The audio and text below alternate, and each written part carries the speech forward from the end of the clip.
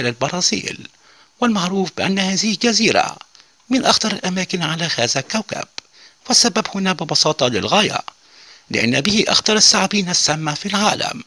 هنا يعيش أكبر تجمع للتماسيح القاتلة.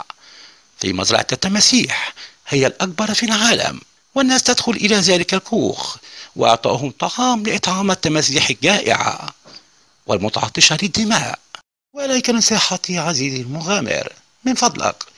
ابتعد عن هذه المنطقة المرعبة. حفظا. على سلامتك.